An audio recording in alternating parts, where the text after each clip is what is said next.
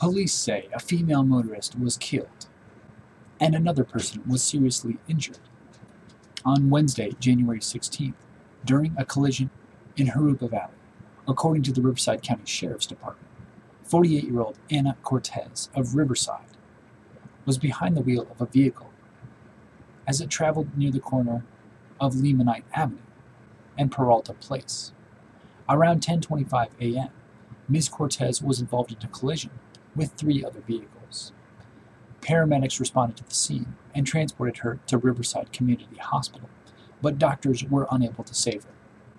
Investigators say at least one other traveler was hospitalized with serious injuries.